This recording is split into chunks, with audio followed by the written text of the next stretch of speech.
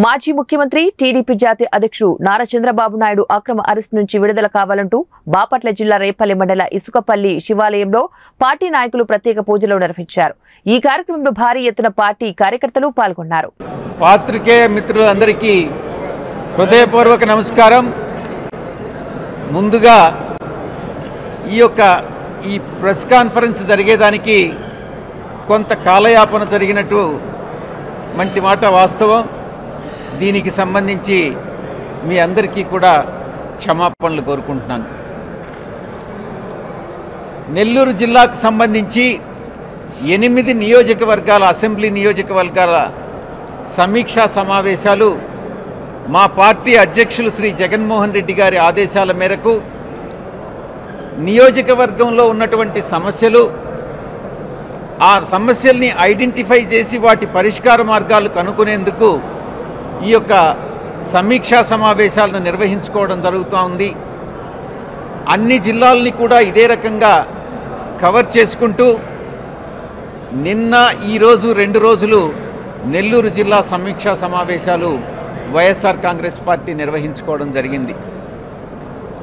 అన్ని నియోజకవర్గాలకు సంబంధించి వివిధ సమస్యల్ని ప్రత్యక్షంగా మా యొక్క గౌరవ శాసనసభ్యులు పార్లమెంటు సభ్యులు పరిశీలకులు అందరం కూడా కూర్చుని వినూత్నమైనటువంటి పద్ధతిలో గతంలో ఎన్నడూ లేనటువంటి విధంగా ఏ రాజకీయ పార్టీ చేయనటువంటి విధంగా ప్రజల నుంచి నాయకుల నుంచి ద్వితీయ శ్రేణి తృతీయ శ్రేణి నాయకుల నుంచి నేరుగా సమస్యలు తెలుసుకున్నటువంటి పద్ధతి ఈరోజు పాటిస్తూ ఉన్నాం.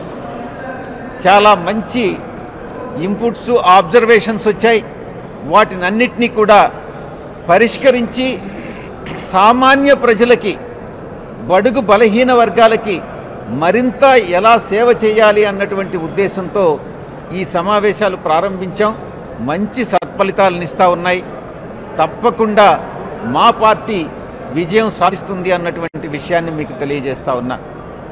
నెల్లూరు పార్లమెంటుకు సంబంధించి అన్న వేమిరెడ్డి ప్రభాకర్ రెడ్డి అన్న రాబోయేటటువంటి రెండు వేల ఇరవై నాలుగు ఎన్నికల్లో పార్లమెంటు లోక్సభ సభ్యునిగా పోటీ చేస్తారు. మిగతా అసెంబ్లీ నియోజకవర్గాలకి కొన్నిటికి ఆ పార్టీ అధ్యక్షులు వారు ఆల్రెడీ నిర్ణయం తీసుకోవడం జరిగింది. మిగతావి కూడా రాబోయేటటువంటి కాలంలో అన్ని అసెంబ్లీ నియోజకవర్గాలకి పార్టీ అధ్యక్షుల వారు నిర్ణయం తీసుకుని మేము ఎన్నికల బరిలోకి దిగుతాము అన్నటువంటి విషయాన్ని తెలియజేస్తా ఉన్నా. ఇక పార్టీకి సంబంధించి ఇక రీసెంట్గా జరిగినటువంటి పొలిటికల్ డెవలప్మెంట్స్ తీసుకుంటే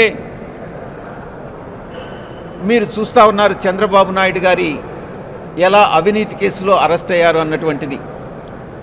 గతంలో ప్రతి ఒక్కరూ కూడా చెప్పేవాళ్ళు చంద్రబాబు నాయుడు గొప్ప నాయకుడనని చాలా నీతిమంతుడనని ఇన్ఫర్మేషన్ టెక్నాలజీ ఇండియాకి తీసుకొచ్చాడనన్నటువంటిదని ఆ తర్వాత హైదరాబాద్ నిర్మించాడనని అమరావతి నిర్మించాడనని ఈ రకంగా ప్రచారం చేసి ప్రయోజనం లేదనని ఈరోజు టీడీపీ ఒక నిర్ణయానికి వచ్చిందన్నటువంటి విషయం మీరు గమనించగలరు. రీసెంట్గా జరిగినటువంటి పరిణామాలు తీసుకుంటే. అందుకే టీడీపీ తెలుగుదేశం పార్టీ తన వ్యూహం మార్చుకున్నది అన్నటువంటి విషయాన్ని మీకు తెలియజేస్తా ఉన్నా.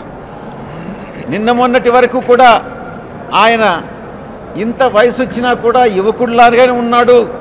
ఆయన కన్నా శక్తిమంతుడు లేడు అన్నటువంటి టీడీపీ తెలుగుదేశం పార్టీ